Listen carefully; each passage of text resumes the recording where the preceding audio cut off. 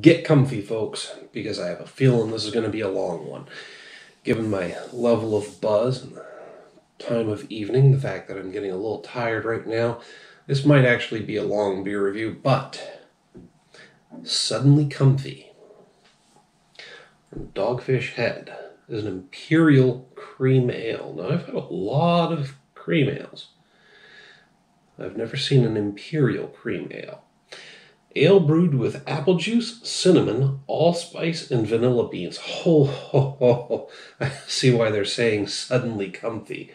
I mean, apple juice, cinnamon, allspice, and vanilla beans. That just sounds like a nice, nice fall beer. Um, it did come out in the fall. Imagine that. 8% ABV, so it's going to be nice and heavy. I mean, that's that that's freaking apple pie. That's yeah, pretty much that's apple pie. Suddenly comfy. Well, there's not a whole lot about it on the label other than those ingredients. So let's uh, let's crack her open and find out what it's all about. I mean, I, I'm I'm lacking the words to describe it right now. Like I said, I've got a decent level of inebriation going and it is getting later in the evening, so I am a little tired.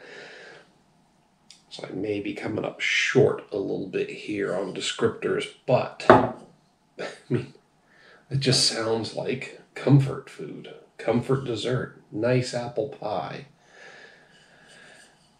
anyway, you know what I'm talking about. Oh, look at that. It actually looks like a nice glass of apple juice.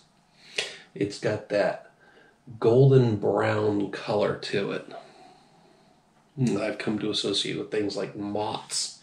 It's not very effervescent. There's not a lot of bubbles coming up through. It is slightly hazy, like a glass of juice. I didn't get a very good head on that, but I didn't get too aggressive with the pour either. So, smells sweet.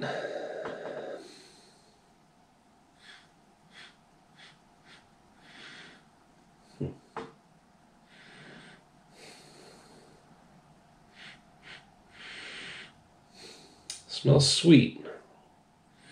then I'm definitely smelling the apple juice. Like very vaguely. Other than that, I'm not getting a whole lot off of it. Hmm.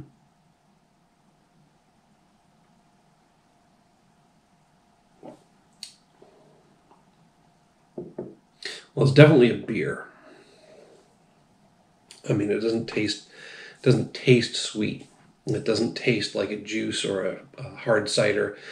It's definitely a beer. It's got a nice strong ale flavor. Got a nice medium medium mouth feel. Hmm. I think I'm getting a little smokiness in the finish, but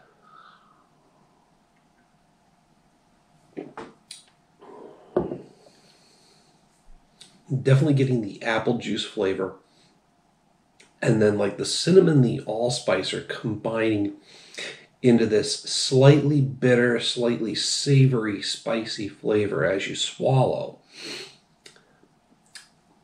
And then after the finish, I'm getting a little, little tiny hint of a cooling sensation combined with the flavor of the vanilla. But yeah, uh, all throughout the whole thing, just this nice grainy ale flavor just a general beeriness about it, if that makes any sense. But the different other flavors, the mm, pardon. Hiccups are trying to come through. Hang on, I'm going to try and stifle those.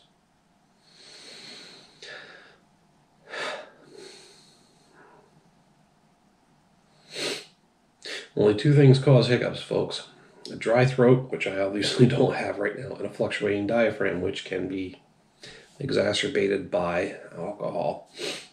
So, regulate your breathing, wet your throat. One thing that really helps in regulating your breathing, I know I'm getting off on a tangent here, is learning how to breathe with the lower lobes of your lungs. Your lungs have four lobes. You got your right and left lung, but you also have your upper two and lower two lobes.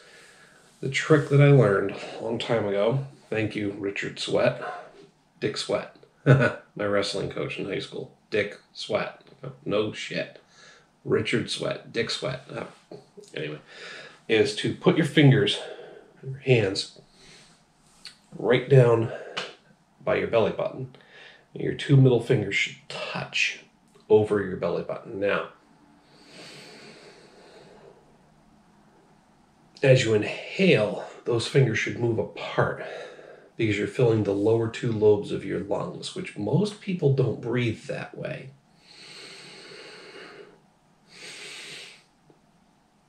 And then the next inhale, the next part of your inhale should fill the upper lobes of your lungs, so you should feel your chest expand. It's tricky, but if you learn that cyclical breathing, lower, upper, lower, upper lobes of your lungs,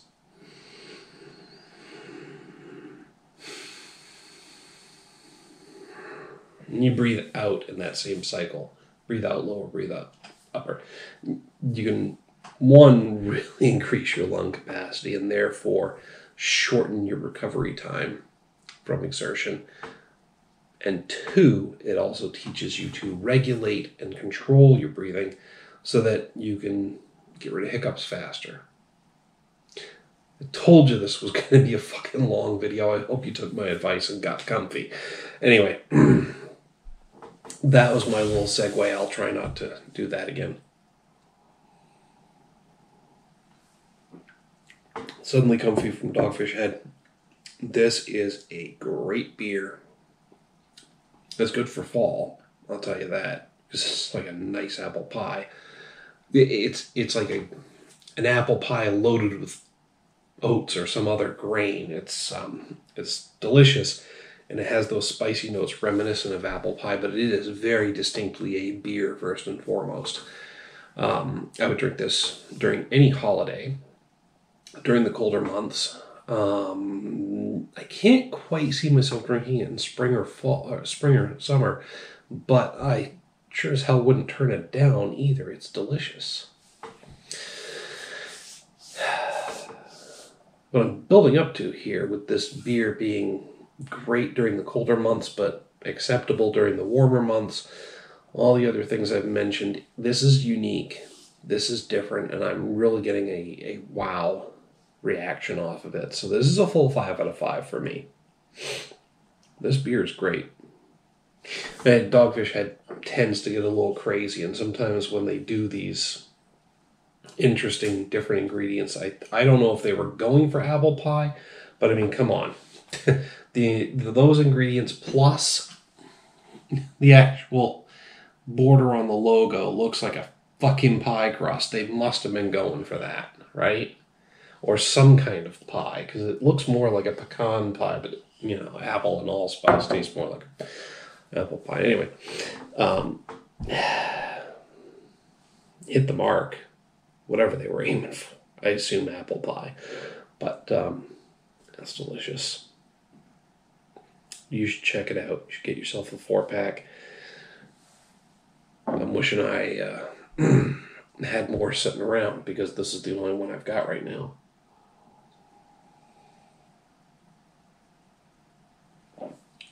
Anyway, full marks, five out of five for me. Love to hear what you have to say about Suddenly Comfy. Hit me up down below in the comments or the email link. While you're down there, make sure to like and share this video. And don't forget to subscribe to the channel. Till next time, folks, thanks for tuning in. Get comfy. Life's too short to not be comfy. Cheers.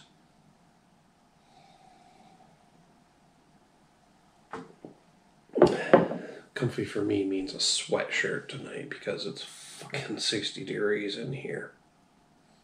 Keeps the heating bill low.